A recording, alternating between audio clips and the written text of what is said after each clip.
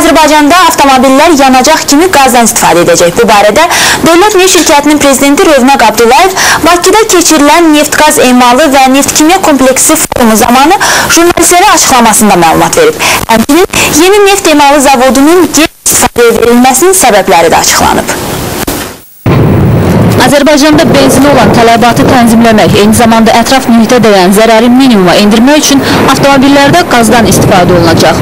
Bu məqsədlə bütün ölkə ərazisində qaz doldurma stansiyaları quraşdırılacaq. Bununla bağlı Dövlət Neft Şirkətinin Azəriqaz İstehsalat Birliyi layihəyə başlayıb. Gələn ilin birinci kvartalı bilirsiniz Bakı bus e, avtobuslar gətirilir, qazda işləyən avtobuslar.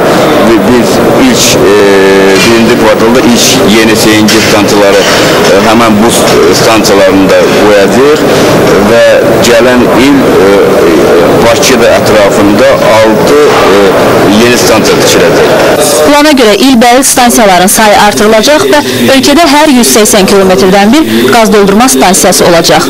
Hökumətin bu addımları təsadüfi deyil, çünki Qaradağ neft-qaz emalı və neft-kimya kompleksində neft emal zavodunun tikintisi vaxtı dəyişib.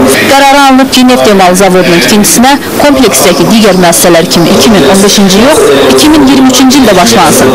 Bu zavod 2030-cu ildə işə salınmalıdır. Ləngimə qərarının səbəbi isə Şahdəniz 2 və digər iri qaz layihələrinin də məhz bu komplekslə eyni dövrə təsadüf etməsidir. Yeni zavod açılana qədər isə Heydər Əliyev adına neft emalı zavoduna 1 milyard manata yaxın sərmayə yatırılaraq onun gücü ildə 3 milyon ton benzinə çatdırılacaq. 2018-ci ilin axırına kimi bu işlər qutaracaq və ondan sonra təqribi 15 il e, praktiki olaraq bu yeni bir zavod olacaq və 15 il e, fəaliyyət göstərəcək. Paytaxtdakı digər emal müəssisəsi Azərneftgaz zavodu isə 2-3 il ərzində tamamilə ləğv ediləcək. Qaradağ kompleksinə daxil olan qaz emalı və kimya zavodları 2020-ci ildə işə düşməlidir.